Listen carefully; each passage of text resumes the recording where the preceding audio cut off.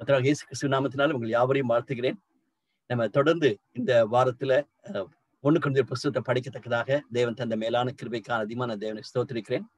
இன்னைக்கும் நம்ம கடைசி அஹ், அந்த நாலாவது பகுதியை நம்ம படிக்கும் பொழுது தேவன் நம்மோடு கூட இடைப்படத்தக்கதாக நம்முடைய மத்தியில் இருக்கிற சகன் காந்தி ஜபிக்கும்படி அன்பை கேட்டுக்கொண்டிருக்கிறேன்.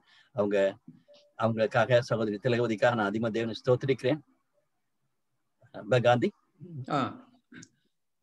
எங்களை நேசிக்கிற நல்ல ஆண்டவரே இந்த அருமையான மாலை வேலைக்காக உம்மை துதிக்கிறோம் உம்மை சோத்தரிக்கிறோம் இப்பொழுதுமாய் கூட ஆண்டவரே நாங்கள் இந்த கடந்த மூன்று தினங்களாக இந்த ஒன்று குருந்தியர் நிருபத்தை நாங்கள் படிக்கும்படியாக நீர் எங்களுக்கு பெருமை செய்திருக்கிறீர். அதனுடைய இறுதி பாகத்தை இந்த நாளிலே கூட படிக்கும்படியாக நாங்கள் உங்களுடைய பாத்திலே நாங்கள் கூடி வந்திருக்கிறோம். அதுக்கு நீர் எங்களுக்கு கொடுத்திருக்கிற கிருபைக்காக நன்றி செலுத்துகிறோம். தொடர்ந்து ஆண்டவரே இதை நாங்கள் நல்ல விதத்திலே படித்து முடிக்க நீர் எங்களுக்கு கிருபை தாரோம்.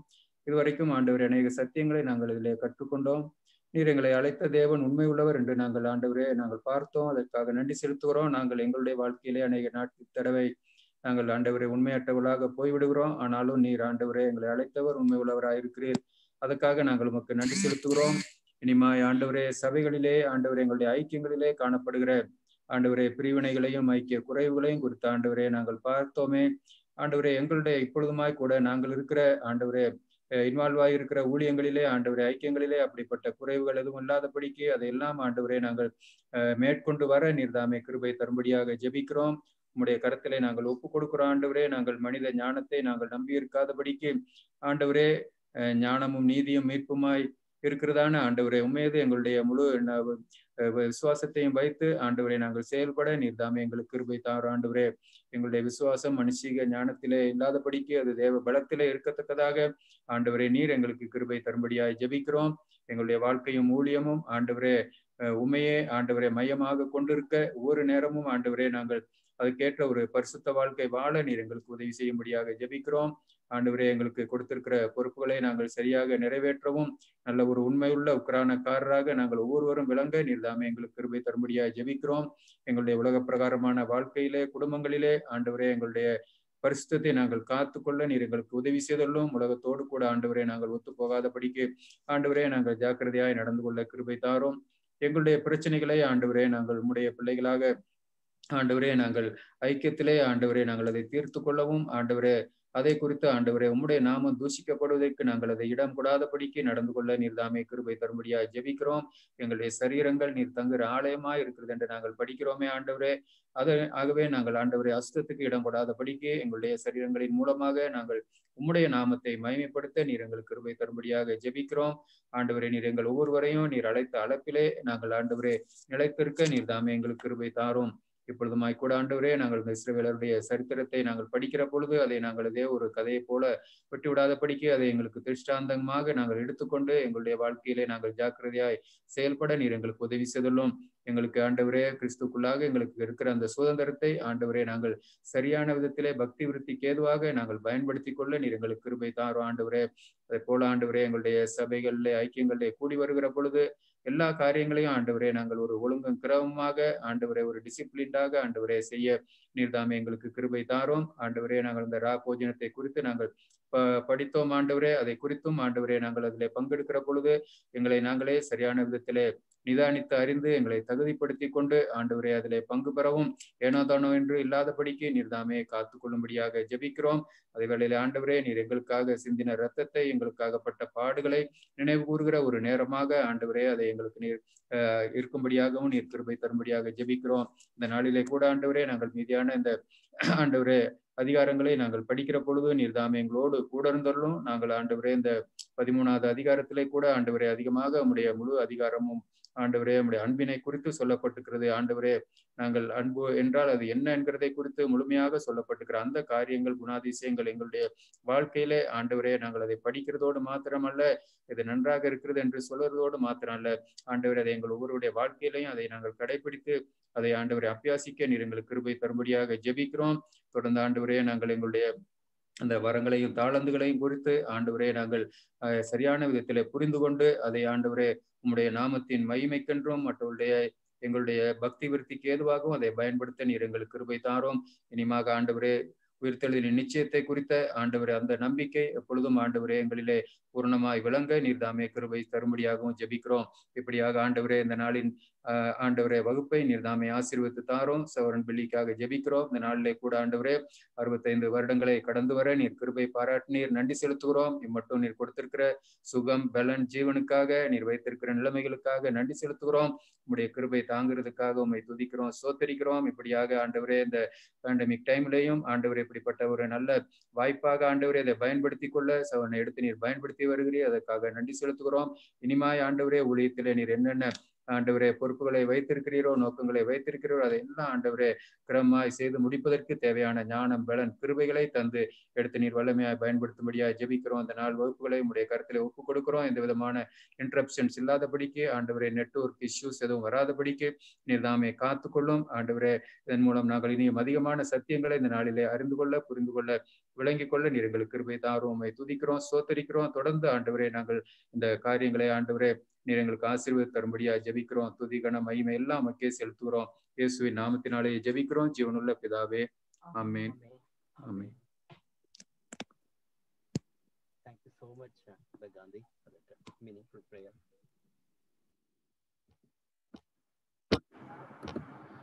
நம்ம இதுவரைக்கும் பார்த்த காரியங்களை குயிக்கா நம்ம பார்த்துடலாம்.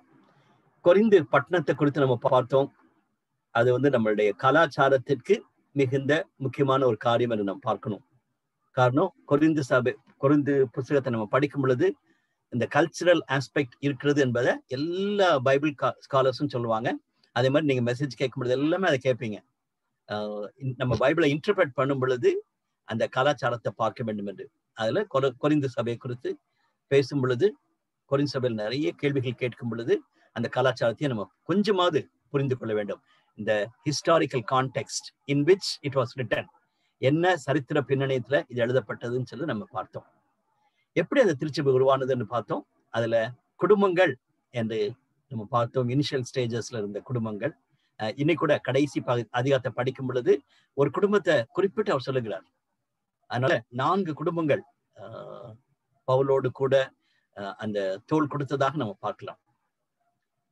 அதை நம்ம அதிகமாக முக்கியத்துவம் கொடுத்து நம்ம பார்த்து கொண்டிருந்தோம். குடும்பங்கள் மிக மிக அவசியம். இன்னைக்கும் ஆஹ் நம்முடைய ஊழியத்தில் நம்ம ஈடுபடும் பொழுது குடும்பமாக ஈடுபட வைப்பது வந்து மிக அவசியம். ஆனா we should not make it as a family ministry அது எப்பவுமே கொஞ்சம் கவனமா இருக்கணும். அது வந்து நான் எப்பவுமே நான் ஒரு பெரிய பயத்தோட சொல்லக்கூடிய ஒரு காரியம். We have to involve as a family but we should not make the ministry as a family work இன்னைக்கு அது ரொம்ப சாதாரணமா இருக்கு குறிப்பாக தமிழ்நாட்டுல அது ஒரு பெரிய வருத்தமான ஒரு காரியம். குடும்பமா இன்வால்வ் பண்றாங்க. அது பிறகு போக போக போக அந்த மினிஸ்ட்ரியே அவங்களுக்கு தான். அதுக்கு மேல யாரும் பக்கத்துல வந்துட முடியாது. அஹ் அது வருத்தமான ஒரு காரியம். அப்படி நம்ம படிக்கல. குடும்பங்கள்ல ஈ- குடும்பங்கள் ஊழியத்துல ஈடுபட வேண்டும் என்பது மிக முக்கியமான ஒரு சத்தியத்தை பாசிட்டிவா நீங்க பார்க்கணும் நான் விரும்புகிறேன். நம்மளை அழைத்த உண்மையுள்ளவர் அழைப்பை குறித்து நம்ம பேசினோம். நமக்கு பலவிதமான அஹ், விதங்களிலே தேவன் நம்மளை வைத்திருக்கிறார் என்பதை உணர்ந்து நம்மளுடைய அழைப்புல உண்மையா இருந்து தனிப்பட்ட வாழ்க்கையில குடும்ப வாழ்க்கையில ஊழியத்தின் பாதையில தேவன் கொடுத்திருக்க அழைப்புக்கு உண்மைகளெல்லாம் நம்ம காணப்பட வேண்டும். அதோடு கூட திருச்சபையில காணப்படக்கூடிய பலவிதமான பிரச்சனைகளை ஐக்கியத்துல காணப்படக்கூடிய பலவிதமான பிரச்சனைகளை நம்ம கவனமா பார்த்து அதற்கு ஆவிக்குரிய மனிதர்களாக தேவனுடைய வார்த்தையின் அடிப்படையில நம்ம தீர்மானிக்கணும் மற்றவங்களுக்கும் உதவி செய்யணும். எல்லாவற்றுக்கும் மேலாக சுவிசேஷம் என்பது இயேசு கிறிஸ்துவனுடைய பாடு மரணத்தினால் வரக்கூடிய ஒரு விலையேறப்பெற்ற ஒரு காரியம். அதனால ஒரு கம்ஃபர்ட் அல்லது ஒரு ரொம்ப கன்வீனியன்ட்டா உழைத்த செஞ்சிடலாம். எல்லாம் கன்வீனியன்ட்டா அதெல்லாம் செஞ்சிடலாம்னு சொல்லி யோசிக்கிறது ஒரு சரியான காரியம் அல்ல. அல்லது நம்ம உலக பிரகாரமான பணத்தோடு உலக பிரகாரமான வல்லமையோடு உலக பிரகாரமான ஞானத்தோடு இதை ஹேண்டில் பண்ணிடலாம் சொன்னோம்னா கண்டிப்பாகவே தவறு செய்கிறோம் என்பதை மறந்து போக வேண்டாம். தேவன் கொடுக்கக்கூடிய ஒரு பெரிய வெளிப்பாட்டை நம்ம பார்த்தோம். அதோடு கூட பின்னால் இருக்கிற பகுதி ஆறாம் அதிகாரம் வரைக்கும் இருக்கிற பகுதியில முக்கியமான ஒரு காரியம் என்னன்னா அவங்களுக்குள்ளே காணப்பட்ட இந்த சுயத்தை மையமா இருக்கக்கூடிய காரியங்கள். ஈவன் ரச்சிக்கப்பட்ட பின்பும் சுயத்தை மையமாக இருக்கிறதுனாலதான் இன்னைக்கு திருச்சபைகள் வளரல என்பதை நம்ம அறிந்திருக்கிறோம். இந்த இம்மெச்சூர்ட் கிறிஸ்டியன்ஸ் இருக்கிறதுனால குரோத் அதாவது இந்த குரோத்லயுமே ஒரு டெப்த் இல்லாதபடிக்கு போயிருது என்று நம்ம பார்க்கலாம். நம்ம ரொம்ப கவனமா இருக்க வேண்டும். இது இது வந்து திடீர்னு ஒரு நாள் நடக்க போற காரியம் கிடையாது. நான் ரசிக்கப்பட்டேன் நாளை வந்து சரியாயிட்டேன் அல்லது நான் இன்னைக்கு அதை ஃபீல் பண்றேன் இப்ப நாளை வந்து சரியாயிருச்சு அப்படி கிடையவே கிடையாது. இட்ஸ் அ ரியல் ப்ராசஸ் அதனால தேவனுடைய வார்த்தையையும் பசுத்தாவினுடைய அனுக்கிரகமும் நமக்கு அதிகமாக தேவை. அதன் நிமித்தமாக மெச்சூரிட்டியை நோக்கி நம்ம போவது மிக மிக அவசியம். அதே மாதிரி செக்ஷுவல் இம்மோரல் இம்மாரலிட்டி இன்னைக்கு ஊழியங்களிலும் திருச்சபையிலும் காணப்படும் பொழுது அது மிகுந்த வருத்தமான ஒரு காரியம். அது நம்ம வேதனையோடு பார்க்கிறோம். அது எப்படி ஹேண்டில் பண்ணோம் என்பதையும் நமக்கு ஒரு சில காரியங்கள் குறித்து கொண்டோம். கடைசியாக அன்னைக்கு நம்ம பார்க்கும் பொழுது ஒரு ஊழியத்துல ஈடுபடக்கூடிய நம் ஒவ்வொருவரும் எப்படிப்பட்டவர்களா காணப்பட வேண்டும் என்றத நல்ல ஒரு சத்தியத்தை நாலாம் அதிகாரத்திலிருந்து கற்றுக்கொண்டோம். நேற்று நம்ம பார்க்கும் பொழுது திருமணத்துக்கு அடுத்த காரியங்களிலே பல கேள்விகளை அவங்க கேட்டாங்க. பவுல் தன்னுடைய அனுபவத்திலிருந்தும் தேவனுடைய வார்த்தையிலிருந்தும் ஆண்டவராக இயேசுவானவர் என்ன சொன்னார் என்று சொல்லியும் சொல்லியிருந்தாங்க நம்ம பார்க்கலாம். அதுல ஒரு சில கொஸ்டின்ஸ் நமக்கு ஆன்சர் பண்ண முடியாதபடிக்கு இருக்கிறதா இருக்கலாம். இல்லையா? அதாவது பவுல் அப்படி வித்தியாசமா எழுதியிருக்காருன்னு சொன்ன மாதிரி இருக்கலாம். பட் எப்பவுமே இன்னொரு இன்டர்பிரேஷன் பிரின்சிபல் என்னன்னா ஹோல் பைபிளையும் நம்ம மையமா வைத்து தான் இன்டர்பிரட் பண்ணணும். ஏதோ ஒரு வசனத்தை படிச்சுட்டு பவுல் இப்படி சொன்னாரு அதனால திருமணம் பண்ணாம இருக்கிறது சரின்னு சொல்லிட்டு சொல்றது வந்து சரியான காரியம் கிடையாது. இட்ஸ் அ காலிங் ஒருவேளை அந்த முதல் வசனத்தின்படி அப்படி இருக்கணும்னு நினைச்சோம்னா we have to be sure of our calling அதுதான் நம்ம பார்க்கணும். அதோடு கூட திருமணத்தின் மற்ற காரியங்களிலும் பவுல் அநேக அழகான விதத்துல அவர் தன்னுடைய ஆர்குமெண்ட்ஸ் கொடுத்தான்னு நம்ம பார்க்கலாம். இன்னைக்கு டைவர்ஸ் என்பது வந்து அதிகமாக இருக்கிறது. நம்ம எல்லாரும் அறிந்திருக்கிறோம். கிறிஸ்டியன் சர்க்கிள் தான் அதிகமா இருக்குன்னு சொல்றாங்க. காரணம் இப்போ மற்ற சமயத்தை சேர்ந்தானா குறிப்பாக இந்து குடும்பத்துல பார்க்கும் பொழுது கல்லானாலும் கணவன் புல்லானாலும் புருஷன் சொல்லிட்ட மாதிரி அதாவது என்னதான் மோசமான நடந்தாலும் அவன் என் ஹஸ்பண்ட் அவன் அடிச்சாலும் சரி உதைச்சாலும் சரி ஃபுல்லா தண்ணி அடிச்சுட்டு வந்து என்னை போட்டு வேதனைப்படுத்தினாலும் சரி அவன் ஹஸ்பண்ட் தான் சொல்லிட்டு அப்படியே சப்மி அப்படி சப்மிட் மிஷனோட இருக்கக்கூடிய பெண்கள் அதிகம் என்று சாதாரணமா சொல்றாங்க. ஆனா கிறிஸ்டின்ஸுக்குள்ள அது மாதிரி இல்லாதபடிக்கு தகராறு பண்ணிக்கிட்டு உடனே டைவர்ஸ்க்கு போறாங்கன்னு சொல்றது வந்து ஒரு பெரிய கம்ப்ளைண்ட் நம்ம எல்லாரும் கேட்டதுதான். இன்னைக்கு நிறைய டைவர்ஸ் கேஸ்ல பாத்தீங்கன்னா கிறிஸ்டின்ஸ் தான் அதுல அந்த பர்சன்டேஜ் வைஸ் கிறிஸ்டின்ஸ் தான் ரொம்ப ஜாஸ்தின்னு சொல்லி சொல்றாங்க. மிக வருத்தமான ஒரு காரியம். அடிக்கடி பல பேருடைய ஷேரிங்கை கேட்கும் பொழுது மிகுந்த வருத்தமா இருக்கிறது. அதுல வந்து நம்ம பெண்களை மட்டும் குறை சொல்ல முடியாது. அதனுடைய பெற்றோருக்கும் காரணம். அவருடைய அப்பா வந்து தன்னுடைய மகளை ஒழுங்கா வளர்க்காம இருந்தாருன்னா அவங்க அப்பா அவங்களுடைய அப்பாவுடைய பேரை கெடுக்கதான் அந்த பொண்ணு இருக்கும். எங்க அப்பா மாதிரி நீ இல்லை எங்க அப்பா மாதிரி நீ இல்லைன்னு சொல்லி சொல்லி சொல்லியே ஹஸ்பண்டை வேதனைப்படுத்திடும் அவங்க அம்மாவுக்கு பணம் பணம் பணம்னு சொன்னோன்னா நான் இவ்வளவு டவுரி கொடுத்தேன் அல்லது நான் இவ்வளவு டவுரி வாங்கினேன்னு சொல்லி அதுலயே மக்கள் சண்டை போட்டுக்கிட்டு இருக்காங்க. ஸோ பல விதங்களிலே இன்னைக்கு மேரேஜஸ் உடைப்பட்டு வந்து கொண்டிருக்க காலகட்டத்துல பிசாசானவன் மிகுந்த சந்தோஷப்படுற அளவுக்கு இன்னைக்கு கிறிஸ்தவ குடும்பங்கள் தாக்கப்படும் பொழுது நம்ம ஒண்ணு குழந்தைய ஏழாம் அதிகாரத்தை கவனமா படிச்சு நம்மளுடைய ஐக்கியத்துல அதை டீச் பண்ணணும். குறிப்பாக நம்மளுடைய பைபிள் ஸ்டடிக்கு வரவங்களும் சரி மற்றவங்களும் யங் பீப்புள் இருக்கும் பொழுது ப்ராப்பரான விதத்துல கிறிஸ்டியன் மேரேஜை குறித்து டீச்சிங் வந்து ரொம்ப அவசியம். எட்டாம் அதிகாரத்துல ஐடில்ஸ்க்கு வச்ச உணவை குறித்து நம்ம பேசணும் ஒரு லிபர்ட்டி ஒரு விடுதலையோடு கூட வாழ வேண்டிய வாழ்க்கை என்பதை குறித்து நம்ம நேற்று நிறைய பேசிக்கொண்டிருந்தோம் அதோடு கூட நம்மளுடைய கார்பரேட் வர்ஷிப் தேவனுடைய பிரசனத்துல நம்ம எல்லாரும் கடந்து வரும் பொழுது எப்படி நடந்து கொள்ள வேண்டும் என்ற காரியத்தையும் நேற்று பார்த்தோம். இன்னைக்கு நம்ம பார்க்க போகிற காரியங்கள் ஐந்து அதிகாரங்கள் அது நாலு பிரிவா நம்ம பிரிக்கலாம். முதலாவது முக்கியமான செய்தி என்ன ஸ்பிரிச்சுவல் கிஃப்ட்ஸ் பவுல் அப்படிதான் இந்த ஒண்ணு கொண்ட புத்தகத்தை கிளியர் எழுதுறாரு. நீங்க இதை பற்றி கேள்விப்படுறீங்க. நான் நீங்க அறிஞ்சு கொள்ளணும். அதுக்கான எழுதுறேன்னு சொல்ற மாதிரி அவர் எழுதுகிறார். அதனால பன்னெண்டாம் அதிகாரத்தை ஸ்டார்ட் பண்ணும் பொழுது அந்த ஸ்பிரிச்சுவல் கிஃப்டை பற்றி சொல்லுகிறார். பதினாலாம் அதிகாரத்தை முடிக்கும் பொழுது அந்த ஸ்பிரிச்சுவல் கிஃப்டை பற்றி முடிக்கிறார். அதனால கிளியராகவே பன்னெண்டு பதிமூணு பதினாலு அது சேர்ந்துதான் இருக்கணும். அதுல சவுன் காந்தி ஜோம் பண்ணது போல பதிமூணாம் அதிகாரம் த லவ் சாப்டர்ன்னு சொல்றாங்க. அத வந்து பவுல் இந்த பன்னெண்டு பதினாலுக்கு நடுவுல அதை எழுதியிருக்காரு. நம்ம அவர் கடிதம் எழுதும் பொழுது இது மாதிரி வசனம் எப்படி சாப்டர் ஒண்ணுன்னு எழுதியிருக்க மாட்டார். பிறகுதான் இந்த சாப்டர் எல்லாம் பிரிச்சாங்க. அவர் அந்த ஃப்ளோல வரும் பொழுது இந்த தாட்டை பன்னெண்டாம் அதிகாரத்துல இருந்து நம்ம பதினாலாம் அதிகாரத்துக்கு படிக்கிற தாட்ல சென்டர்ல ஒரு சாண்ட்விச் மாதிரி நடுவுல லவ்வை பற்றி எழுதியிருக்காரு. அதனால நம்ம எல்லாருக்கும் ஒத்துக்கொள்ள வேண்டிய ஒரு காரியம் என்னன்னா கிஃப்ட்ஸை பற்றி பேசும் பொழுது லவ் இஸ் சோ இம்பார்ட்டன்ட் உண்மையான அன்பு மிக முக்கியம்னு சொல்லிட்டு. ஈவன் ரீசெண்டாக கூட போன மாசம் கூட ஒரு பிரீச்சர் பேசும் பொழுது அந்த லவ்வை பற்றி பேசுறது எல்லாரும் பேசி பேசி ஆவிக்குரிய கிஃப்டை மிஸ் பண்ணிடுறாங்கன்னு சொல்லிட்டு அவர் ரொம்ப சர்க்காஸ்டிக்கா சொன்னார். அதாவது சாப்டர் தேர்ட்டீன் வந்து இட்ஸ் ட்ரூ லவ்வை பற்றி பேசுறது ரைட் தான். பட் ஆனா அத ரொம்ப ஒரு பொருட்படுத்தாதபடிக்கு நான் சொல்ற இந்த ஸ்பிரிச்சுவல் எக்ஸ்பீரியன்ஸுக்கு நீங்க முக்கியத்துவம் கொடுக்கணும்னு சொல்லிட்டு அந்த பிரீச்சர் பேசினாரு. ரொம்ப கவலையா இருந்துச்சு. ஐ டோன்ட் திங்க் பவுல் வந்து அதை அந்த மெசேஜை கேட்டாருன்னா ரொம்ப எக்ஸைட்டடா ஆ நீ சொல்றது ரைட் தான் தம்பின்னு சொல்ல மாட்டாரு. அதனால நம்ம we have to be very careful பன்னெண்டு பதிமூணு பதினாலு. இந்த மூன்று அதிகாரங்களை கவனமா நம்ம படிக்கணும். அதே மாதிரி பதினஞ்சாம் அதிகாரத்துல உயிர்த்தெழுதலை குறித்தான செய்தி திட்டமாக தெளிவாக அவர் எழுதுகிறார். ஐம்பத்தெட்டு அதி வசனங்கள் இருந்தாலும் கூட அதுல அநேக கருத்துக்களை அவர் இதுல பகிர்ந்து கொள்கிறான்னு சொல்லி பார்க்குறோம். கஷ்டம்தான். இந்த மாதிரி ஒரு ஷார்ட் டைம்ல எல்லா பகுதியும் படிக்கிறது ரொம்ப கஷ்டம்தான். ஒரு ஒரு ஓவர் வியூ தான் நம்ம பார்க்குறோம். நீங்க நேரம் எடுத்து தனிப்பட்ட நீங்க தனியா குரூப்பாகவும் தனியாகவும் குரூப்பாகவும் படிக்கணும்னு சொல்லிட்டு நான் மறுபடியும் மறுபடியும் உங்களை அன்பாய் கேட்டுக்கொள்கிறேன். கடைசி ஒன் மோர் தாட் வந்து கிவிங் கிவிங்கை பற்றி ஒரு தாட் இருக்குது. அது பிறகு கடைசி எக்ஸப்டேஷனோட முடிக்கிறார். இன்னைக்கு நம்ம அஹ், வாசிக்க தெரிந்து கொண்ட பகுதி வந்து இந்த லவ் சாப்டர் பதிமூணாம் அதிகாரத்தை நம்ம வாசிக்க கேட்க போறோம். தம்பி சாம் வெஸ்லின் கோயம்புத்தூர் எக்ஸியு இப்போ ஒரு tent மேக்கராக he has gone to Assam மகுந்தால இருக்கிறான் I really thank God for Sam Weslin's commitment தம்பிக்காக நம்ம தொடர்ந்து ஜோ பண்ணுவோம். நல்ல சுகத்தை பலத்தை தரணும்.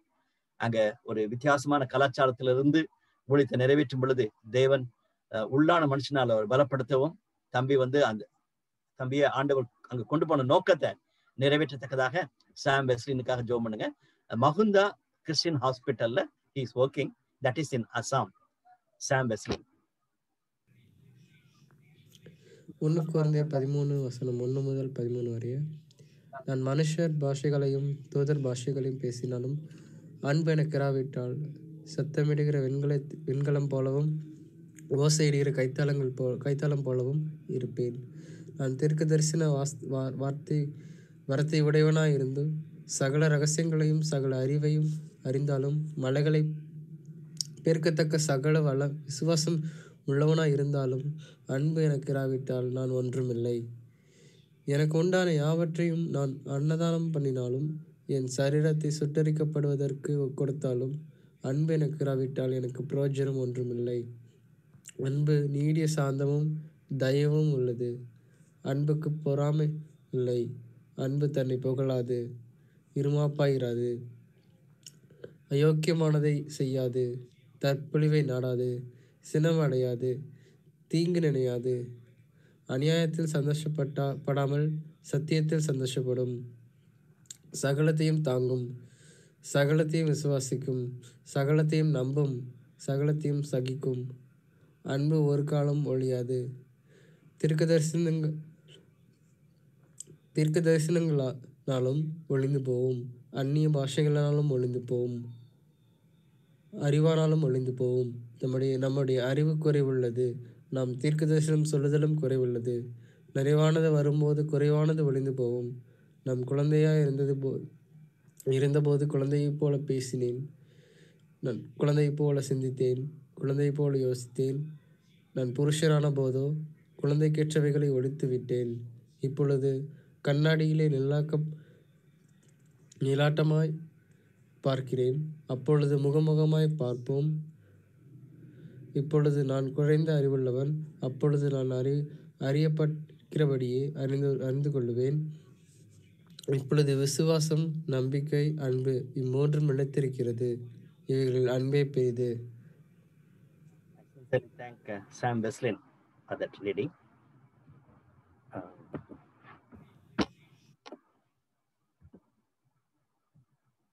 பன்னெண்டு பதிமூணு பதினாலு அதிகாரங்களுக்கு நம்ம தலைப்பு கொடுக்க வேண்டும் என்றால் ஆவிக்குரிய வரங்கள். அப்படிதான் அவர் ஸ்டார்ட் பண்ணுகிறார். பன்னெண்டாம் வசனத்துல பன்னெண்டாம் அதிகாரத்துல முதல் வசனத்துல அன்றியும் சகோதரரே ஆவிக்குரிய வரங்களை குறித்து நீங்கள் அறியாதிருக்க எனக்கு மனதில்லை. சோ ஆவிக்குரிய வரங்கள். வரங்களுக்கும் தாளந்துகளுக்கும் உள்ள வித்தியாசம் சொன்னோம்னா டேலண்ட்ஸ் வந்து பை நே நேச்சுரலாவே இருக்கக்கூடியது. கிஃப்ட்ஸ் வந்து ஆண்டவர் கொடுக்கக்கூடியது. உள்ள இதை குறித்து நம்ம நிறைய பேசலாம். நம்ம டைம் ரொம்ப ஷார்ட்டா இருக்கிறதுனால குயிக்கா நம்ம பார்த்தலாம் there's a difference between talents and gifts ஒரு சிலருக்கு வந்து ஸோ அவங்களுக்கு அதுல அப்படியே பிறந்ததுல இருந்து அப்படியே டேலண்டடா இருப்பாங்க. பாட்டு பாடுறதுல டேலண்டடா இருப்பாங்க செய்யறது அது மாதிரி காரியங்கள் இருப்பாங்க. ஆனா வரங்கள்னு சொல்லும் பொழுது நம்ம ஆவிக்குரிய வாழ்க்கையில வந்த பின்பு தேவனுடைய பிள்ளைகளா நம்ம மாறின பிறகு தேவன் நமக்கு கொடுக்கிற கிஃப்ட் அதான் தம் இங்கிலீஷ்ல வந்து கிஃப்ட்னு சொல்றது. அது வந்து ஆண்டவர் தன்னுடைய பிள்ளைக்கு கொடுக்கறதுன்னு சொல்லிட்டு. அதுல அறிந்து கொள்ள வேண்டிய காரியம்னா முதல் பகுதியில பவுல் மிக தெளிவா சொல்லக்கூடியது ஒரே ஆண்டவர் தான் இருக்காரு. ஒரே ஆவியானவர் தான் இருக்காரு. இன்னைக்கு சர்ச்சஸ்ல தான் இது மாதிரி மாறி நிறைய வித்தியாசமான அனுபவங்கள்லாம் பேசிட்டு இருக்காங்க.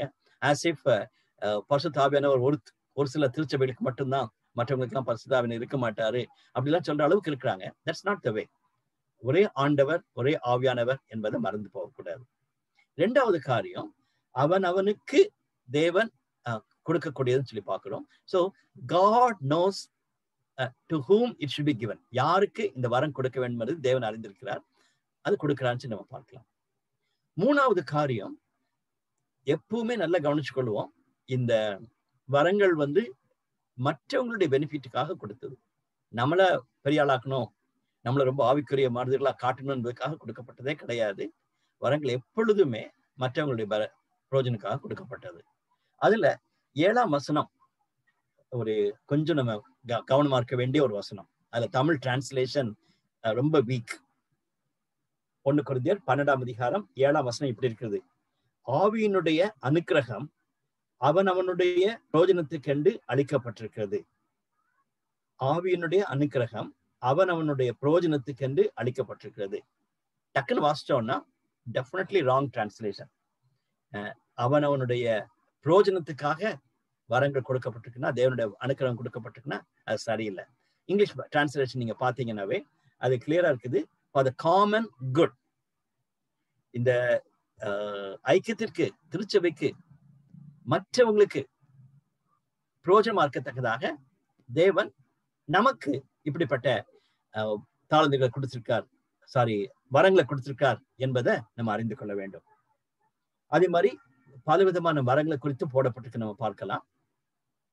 இந்த பகுதி மட்டுமல்ல ரோமர் பன்னிரெண்டாம் அதிகாரம் மூணாம் வசனத்துக்கு பின்பாக இருக்கிற பகுதி எவேசியர் நாலாம் அதிகாரம் பதினோராம் வசனத்துக்கு பின்பாக இருக்கிற பகுதி ஒண்ணு பேதர் மூணாம் அதிகாரத்துக்கு மூணாம் அதிகாரம் எட்டாம் வருஷத்துக்கு பின்பாக பகுதிகள் எல்லாம் நம்ம பார்க்கும் பொழுது வரங்களை குறித்து போடப்பட்டிருக்கு நம்ம பார்க்கலாம். ஒரு பக்தன் எழுதும் பொழுது ஐம்பத்தி ரெண்டு டிஃப்ரெண்ட் டைப்ஸ் ஆஃப் கிஃப்ட்ஸை பற்றி நியூ டெஸ்டமெண்ட் சொல்லுகிறது. ஐம்பத்தி ரெண்டு டிஃப்ரெண்ட் கிஃப்ட்ஸ் அதை வந்து நம்ம ப்ராட் அவுட்லைன்ல போட்டோம்னா ஒரு சில வர வரங்கள் வெளிப்பிரகாரமாக செய்யக்கூடிய காரியங்கள். ஹீலிங் உடனே அது வந்து ஒரு மகத்தான ஒரு காரியம். சில காரியங்கள் அப்படி இருக்கவே இருக்காது. ரொம்ப அமைதலா இருக்கக்கூடிய ஒரு வரம். ஜெபிக்கக்கூடியதே ஒரு வரமா கொடுக்கப்பட்டிருக்கிறது. Some of them they're gifted in prayer அப்படியே அவங்க ஜோமனிக்கிட்டே இருப்பாங்க. ஆண்டவர் மகத்தான காரியங்கள் செய்கிறார். இன்னைக்கும் ஆண்டவருடைய மகத்தான காரியங்கள் நடைபெறுவதற்கு சம் பீப்புள் ஆர் ப்ரே உடை அதாவது க்ளோஸ்டா இருக்கிற கண்ட்ரீஸ்க்காக ஜோம் பண்றவங்கனால ஆண்டவர் செயல்படுகிறார். பாரத்தோடு கூட மிஷன்ஸ்க்காக ஜோம் பண்றவங்க மட்டுமல்ல ஜபத்துல உறுதியா இருக்கிறவங்க குடும்பங்கள் ஆஹ் ரொம்ப வேதனைப்படும் பொழுது ரொம்ப நீங்க ஜோம் பண்ணிட்டே இருந்தீங்கன்னா போதும். அவர் ஒரு அது வந்து உங்களுக்கு ஒரு வரமா இருந்துச்சுன்னா ஆண்டவர் கண்டிப்பா அதை ஆசிர்வதிப்பார். ஸோ அது மாதிரி ஆஹ் சிலது வந்து வெளியே தெரியவே தெரியாது. அது யார் செஞ்சா அது எப்படி வந்துச்சுன்னே தெரியவே தெரியாது. சில காரியங்கள் நம்மளால சொன்ன மாதிரி ஓ இவர் பிரசங்கம் பண்ணாரு இவர் வந்து ஜோம் பண்ணாரு இவர் வந்து ஹீலிங் குரூசைட் நடத்தினாரு. அதனால வந்துச்சுன்னு சொல்லிட்டு வெளியா இருக்கக்கூடிய காரியங்கள்.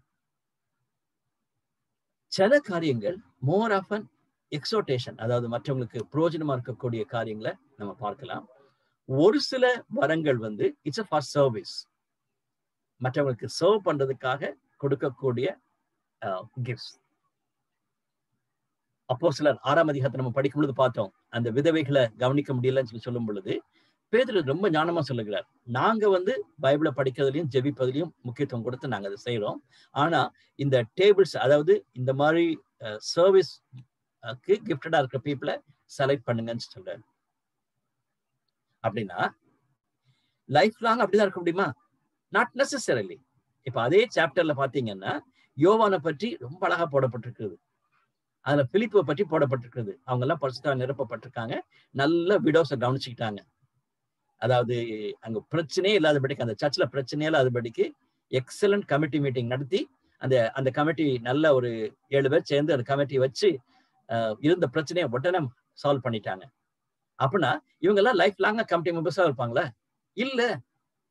அடுத்த அதிகாரத்திலே பாத்தீங்கன்னா ஸ்தேவான் பயங்கரமான ஒரு பிரசங்கத்தை பண்றாரு. பேதுரு பிரசங்கம் பண்ணதை விட அதிகமாகவே ஸ்தேவான் பிரசங்கம் பண்ணியிருக்கிறார். So he was a gifted ப்ரீச்சர்னு பார்க்கிறோம். அடுத்த அதிகாரம் நம்ம பார்க்கும் பொழுது பிலிப்பு எட்டாம் அதிகாரத்துல பார்க்கிறோம். அந்த பிலிப்பு யாரு? சேவானுடைய கூட இருந்த அந்த ஏழு பேர்ல அந்த கமிட்டியில இருந்த பிலிப்பு. அவரு is a gifted evangelist evangelism செய்வதில் கில்லாடி. அவருக்கு காட் கிவன் eh, அதாவது ஆண்டவர் கொடுத்த அந்த ஒரு பெரிய கிஃப்டா நம்ம பார்க்க முடியும். So my dear brothers and sisters நமக்கு ஒரு கிஃப்ட் இருக்குன்னு சொன்னா அதுதான் எனக்கு லைஃப் லாங் இருக்க போற காரியம். சொல்லிட்டு இருக்குது நம்மளுடைய மென்டாலிட்டி பட் ஆண்டவர் வரங்களிலே வித்தியாசங்கள் உண்டு. அண்ட் வரங்களுக்கு கொடுக்க வேண்டிய நேரத்துக்கும் ஆண்டவர் மாறி மாறி கொடுக்கறதுக்கு வாய்ப்பு இருக்கிறது. உதாரணத்துக்கு நான் இன்னொரு சாதாரண உதாரணம் சொல்லும் பொழுது பிடியில என்னுடைய கிளாஸ்மேட் தூத்துக்குடி ஈயு தம்பி குருபாதம் பொன்ராஜ் சொல்லிட்டு நான் தம்பி சொல்ல முடியாது. நாங்கெல்லாம் ஒரே செட்டு ஸோ குருபாதம் பொன்ராஜ் வந்து பைபிள் காலேஜில் படிக்கும் பொழுது நல்ல ஜோ பண்ணுவாரு. மிஷன்ஸ்க்காக கமிட் பண்ணாரு. அவர் எஃப்எம்பிபி போயிட்டாரு. இ பேக்ரவுண்ட் எஃப்எம்பிபி போனாரு. அவர் குஜராத்ல மிஷினரியா போகும் பொழுது நிறைய மிராக்கிள்ஸ் நடந்துச்சு. ஒரு தடவை பிறகு நான் மீட் பண்ணும்போது அவர் சொல்லிட்டு இருந்தாரு. வெளி நான் என்னால நம்பவே முடியல. இப்படிப்பட்ட ஒரு ஹீலிங் கிஃப்ட்ஸ் எல்லாம் எனக்கு உண்டு நான் தெரியவே கிடையாது. அவர் அற்புதமான காரியங்களை தேவன் மூலமா செஞ்சாருன்னு சொல்லிட்டு. ஆனா is a very good worker நல்ல leader and then grass root level worker ஆனா அவர் என்ன சொல்றாருன்னா நான் தூத்துக்குடிக்கு வந்தேன்னா அல்லது இங்க வந்தேன்னா எனக்கு ஒண்ணுமே முடியாது. அதாவது அது மாதிரி நான் யாரையும் போய் ஜோ பண்ணி ஹீல் பண்ணுவேன்னு சொல்லிட்டு சொல்லவே முடியாது. It's a gift it's a gift for that situation ஒருவேளை குஜராத்ல குக்னா மத்தியில ஊழியம் செஞ்சிட்டு இருக்கும் பொழுது அங்க தேவை இருக்கிறதுனால தேவன் அவங்களுக்கு வரத்தை கொடுத்தார். அதே வரத்தை இங்க ஏன் கொடுக்கலன்னு சொல்லிட்டு அவர் கொஸ்டின் பண்ணவே கூடாது. நான் சொல்றது உங்களுக்கு புரியுதுன்னு நினைக்கிறேன். அதனால நம்ம வரங்களை விட்டு ஆண்டவரத்துல கொடுத்துடணும். கடைசியா இன்னொரு பகு காரியம் என்ன கேட்கணும்னா வரங்களுக்காக போட்டி போட்டு அல்லது ரொம்ப போராடி ஜோ பண்ணுமான்னு சொல்றது ஒரு பெரிய கொஸ்டின் தான். ஒரு சிலர் சொல்லுவாங்க இல்ல இல்ல ஆண்டவர்கிட்ட விடாத. உனக்கு ஆண்டவர் உனக்கு இந்த வரத்தை கொடுக்கணும்னு நான் சொல்லும் சொல்லான்னு சொல்லிட்டு விட்டுறாதீங்க. போராடி வாங்கிடணும்னு சொல்லுவாங்க. அது ஒரு பெரிய கொஸ்டின் மார்க் தான். இவன் சிலர் இப்ப ஜபத்திலேயே ஒரு ஆண்டவருக்கு ஒரு கட்டளை சொல்லுவாங்க ஆண்டவரே மை உங்களுடைய கரத்துக்கு கட்டளை எடுக்கிறோம் சொல்லி நீங்க நிறைய கேட்டிருப்பீங்க. அந்த மாதிரி ஒரு ஜபத்தை கேட்டிருப்பீங்க. ஜஸ்ட் லைக் தட் நீங்க கேட்டீங்கன்னா இந்த ஆள் என்னடா ஆண்டவருக்கே ஒரு கட்டளை கொடுக்கிறாரேன்னு சொல்லிட்டு ஒரு சிலர் வேதனையோடு கூட அந்த ப்ரீச்சர்ஸை நெகட்டிவா சொல்றதை நீங்க பார்க்கலாம்.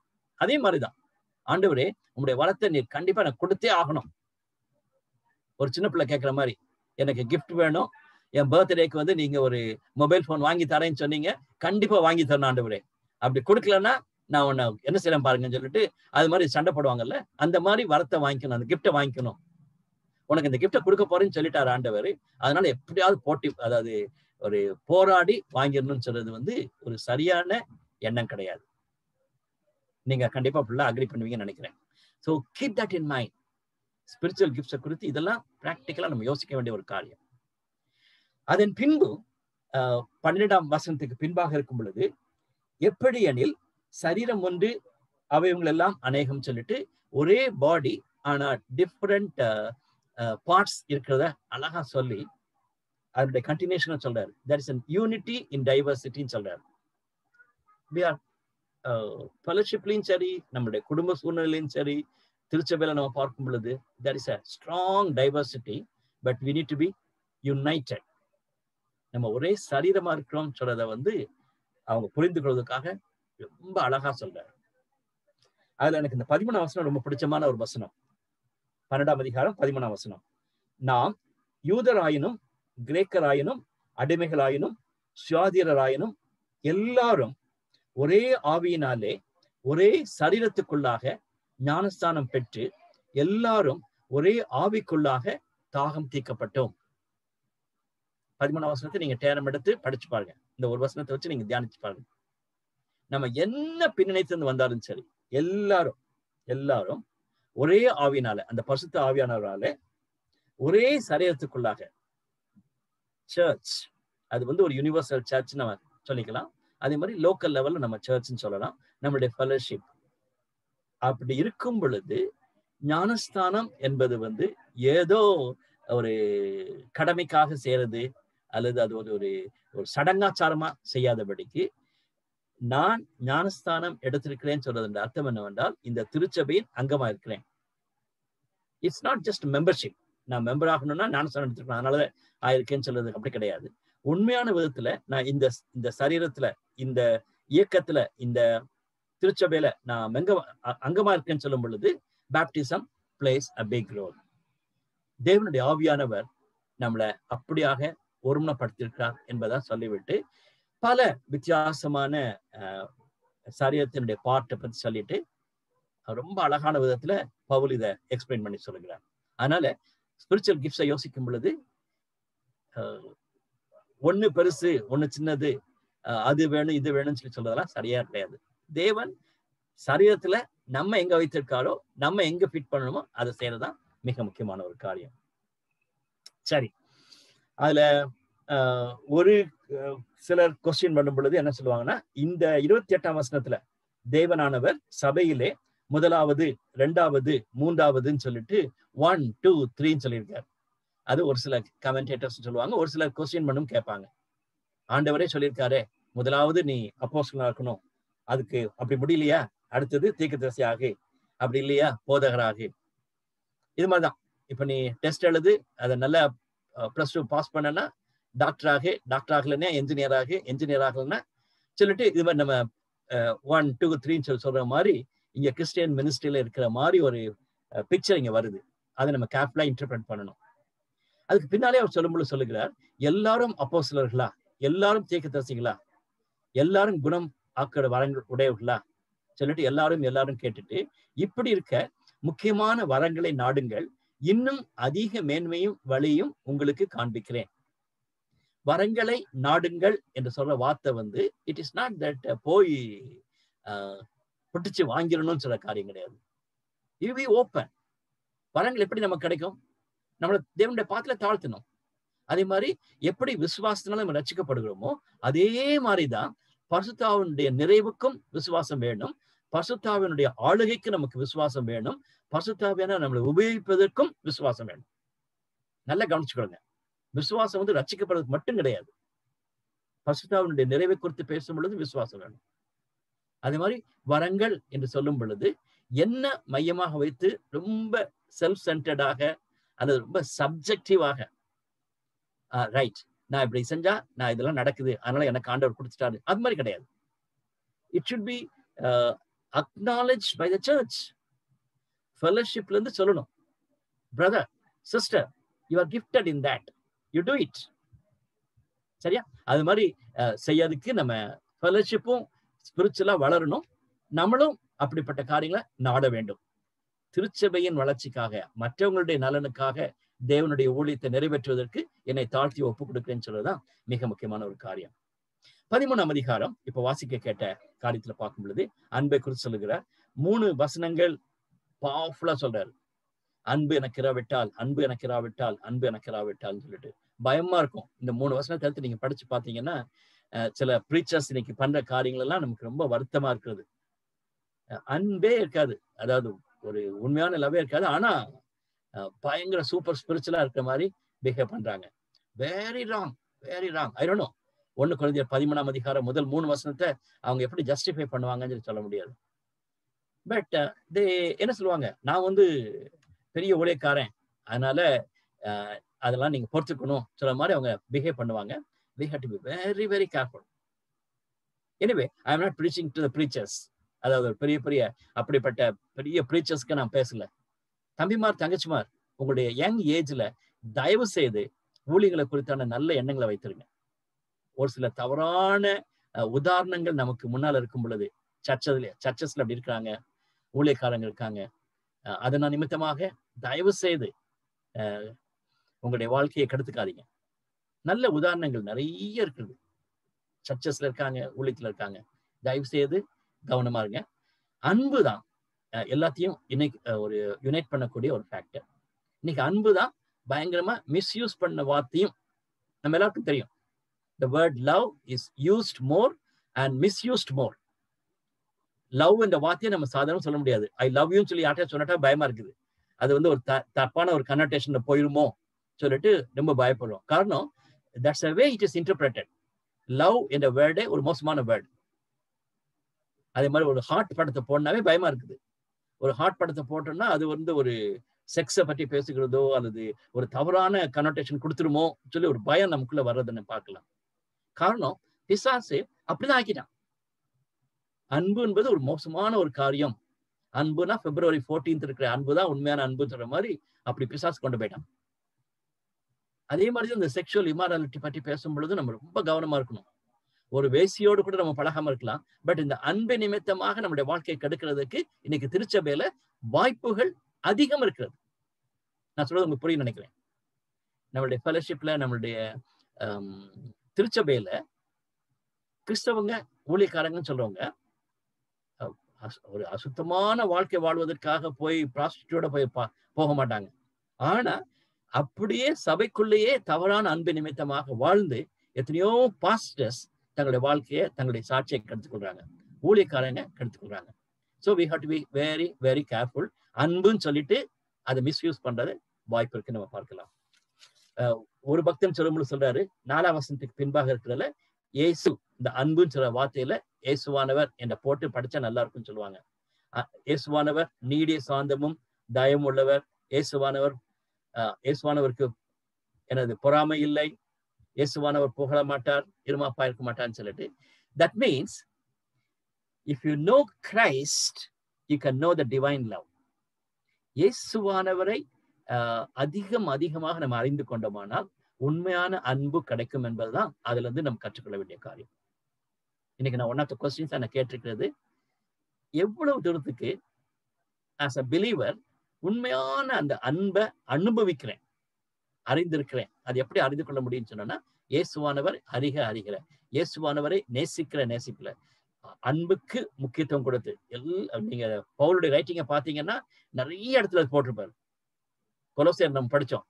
மூணாம் அதிகாரம் பதினாலாம் வசனத்துல எல்லாவற்றுக்கும் மேலாக அன்பை எல்லாவற்றுக்கும் மேலாக அன்பைன்னு சொல்லுவாரு.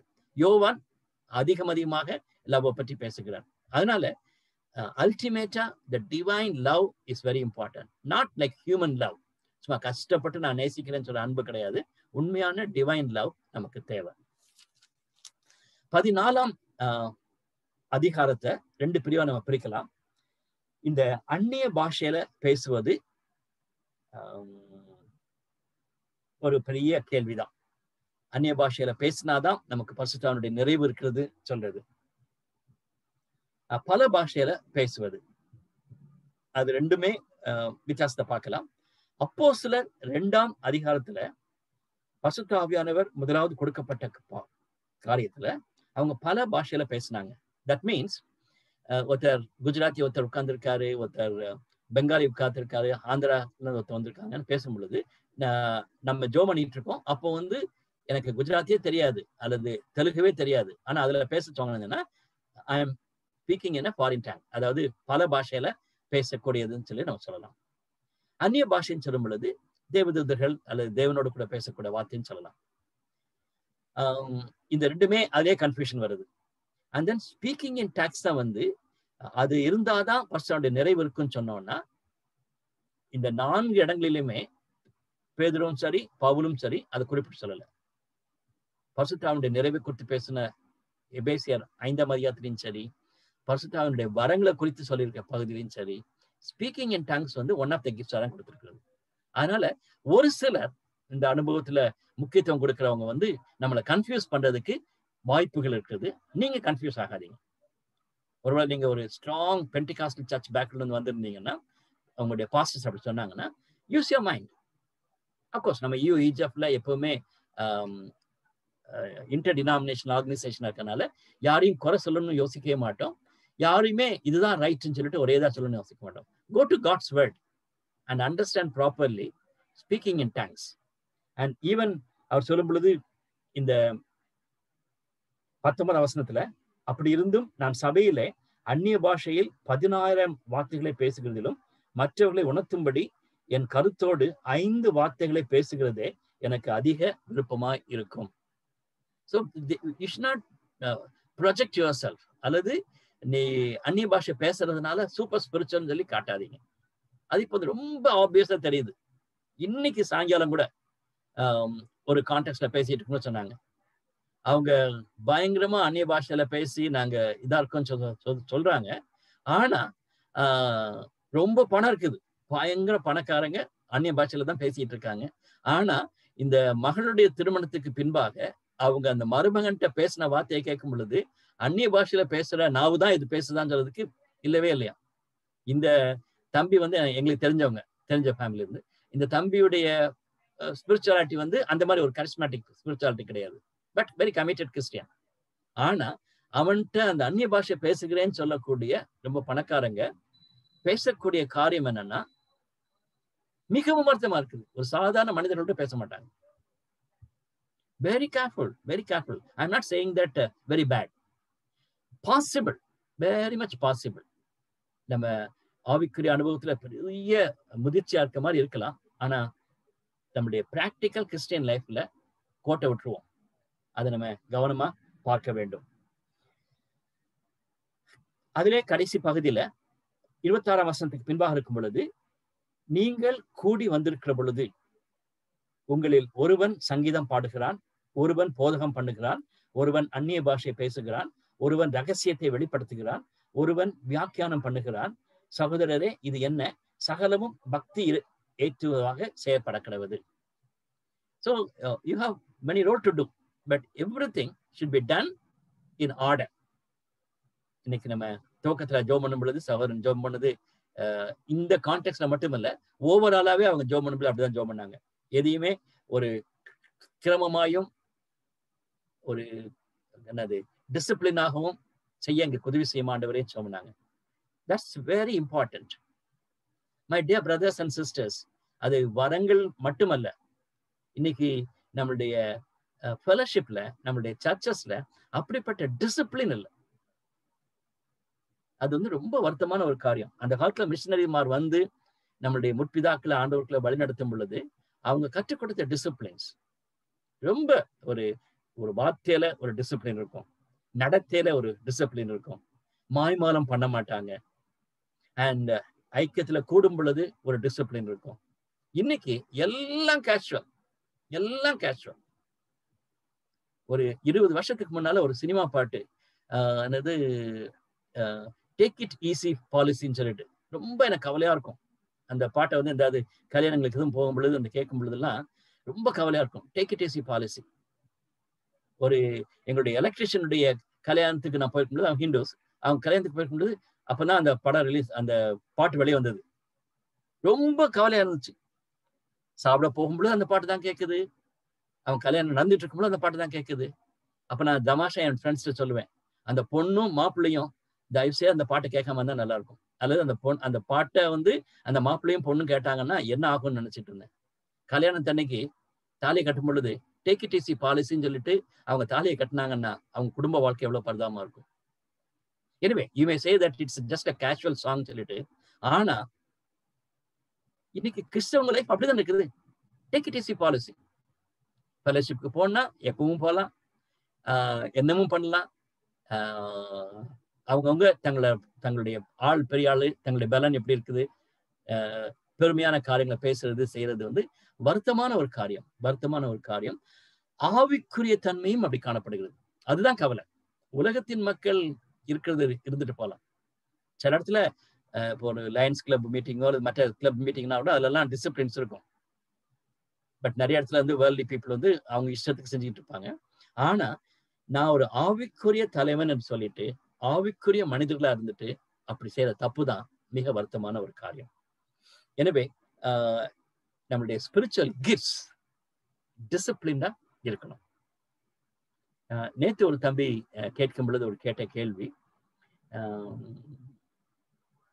அது அவன் அவன் வந்து ஒரு நார்த் ஈஸ்ட் பாய் வித்தியாசமான ஒரு கான்டெஸ்ட்ல கேட்டான். இதை இதை மையமா வச்சு அவன் கேட்கலாம் அவனுடைய கேள்வி என்னன்னா இப்படி மாதிரி ரொம்ப சூப்பர் ஸ்பிரிச்சுவல் மீட்டிங்ஸா இருக்கிறது. ஆனா அவங்களுடைய அஹ், அந்த ஆவிக்குரிய அனுபவங்களை செய்யறத பார்த்தோம்னா ரொம்ப வித்தியாசமா இருக்கிறது. What you say to that young boy and அவனுக்கு ஹீஸ் பிட் கன்ஃபியூஸ்ட் அவன் நினைச்சுக்கிட்டா இவங்க எல்லாம் ஆவியில நிறைந்து செஞ்சுட்டு இருக்காங்கன்னு சொல்லிட்டு. But the behaviours are different அப்போ நான் சொன்னேன் இந்த இந்த சாப்டர் நீ படிச்சு பாரு.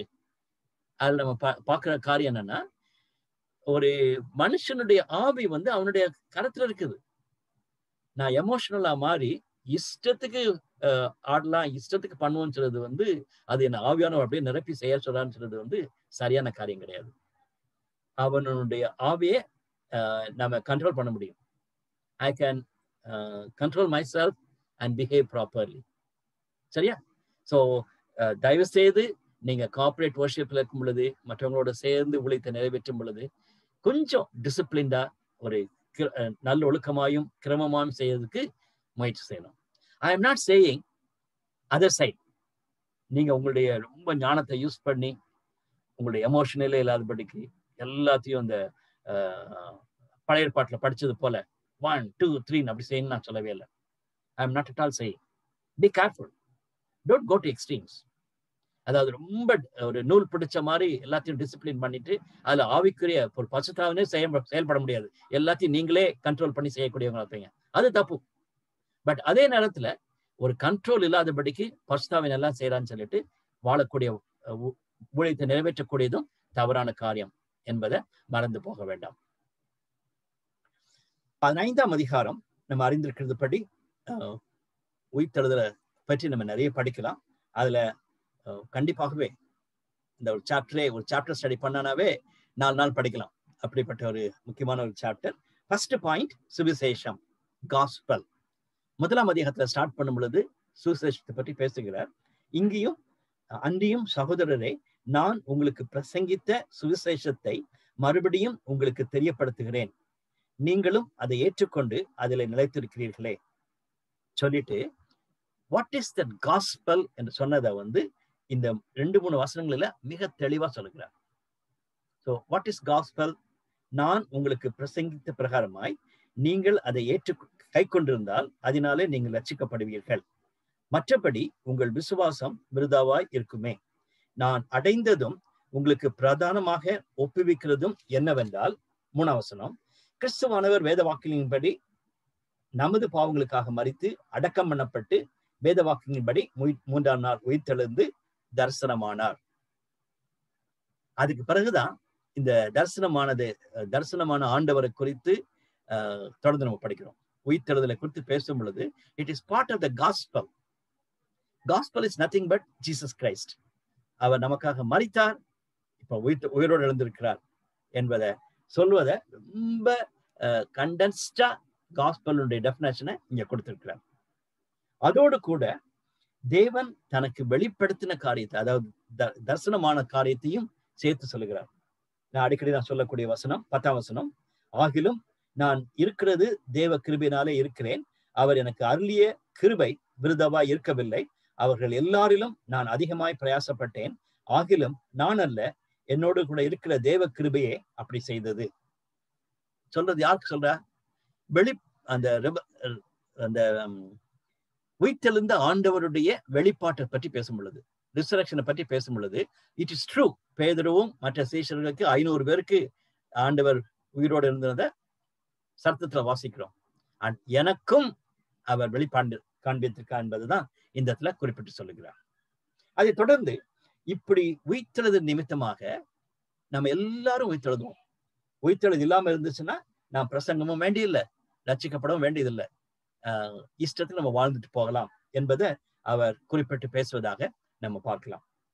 முப்பத்தி ஐந்தாம் வருஷத்துக்கு பின்பாக ஒரு ஷிஃப்ட் இருக்க நம்ம பார்க்கலாம். ஆஹ் அதுக்கு முன்னாடி நம்ம பார்க்கும் பொழுதே சொல்லுகிறாரு.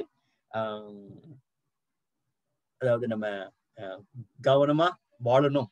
இன்னைக்கு உயிரோடு இருக்கணும்னு சொல்லும் பொழுது நமக்கு ஒரு பெரிய நம்பிக்கை இருக்குது. இறந்தோன்னா உயிர் தெழுவோம் என்ற ஒரு நம்பிக்கை இருக்கிறதுனால நீங்க அதை குறித்து உறுதியா இருக்கணும்னு சொல்லி சொல்லுகிறார். மற்ற மக்களை போல ஒருவேளை நிறைய பிறவிகள் எடுப்போம்ல நம்மளுடைய நம்பிக்கையே கிடையாது. ஒரு நாள் உயிரோடு எழும்ப போறோம் என்ற நம்பிக்கையோட தான் ஒரு விசுவாசிய நம்ம அடக்கம் பண்ணுகிறோம். சரி. அதன் பின்பு இந்த ரிசரக்டட் பாடி இந்த உயிர்த்தெழுந்த சரீரம் எப்படி இருக்கும் என்ற காரியத்தை பற்றி சொல்லும் பொழுது ரொம்ப அழகா சொல்லுகிறார். ஒரு விதைய நீங்க போடுறீங்க அது மண்ணுக்குள்ள போன பிறகு அது செடியா வருது பட் அந்த செடி கம்ப்ளீட்டா வித்தியாசமா இருக்கே. இட்ஸ் நாட் தட் அப்படியே அந்த விதையை போலவே இருக்க இருக்கிறது கிடையாது. அந்த விதையில இருந்தா வெளியே வந்திருக்கிறது. ஒரு சின்ன செடினா ஒரு சின்ன செடியா இருக்கும். ஒரு மரம்னாலுமே ஒரு பெரிய தென்னை மரம் இருக்குன்னா அந்த தென்னை மரத்துக்கு துவக்கம் வந்து அந்த தென்னை காய் உள்ள போடும் பொழுது கொஞ்ச நாள் கழிச்சு அது ஒரு சின்ன செடியா வருது. அதை வச்ச பிறகு நல்ல ஒரு அட்மாஸ்பியர் கொடுத்தோடனே அதனுடைய வெளிப்பாட்டே வித்தியாசமா இருக்குது so resurrection is like that உன்னுடைய பாடி சரீரத்துல விதைக்கப்படுகிறது. விதைக்கப்படுகிறது. அண்ட் தென் வருகிற resurrected body you cannot imagine இப்ப நீ சாதாரண ஒரு செடியை பார்க்கும் பொழுதே நமக்கு ஆச்சரியமா இருக்கிறதே அது மாதிரி ரிசரக்டட் பாடி இருக்கும் போது ரொம்ப தெளிவான விதத்துல அவர் சொல்லுகிறதாக நாம் பார்க்கலாம். அதோடு கூட உயிரோடு இருக்கிற நாம் என்று சொல்லிவிட்டு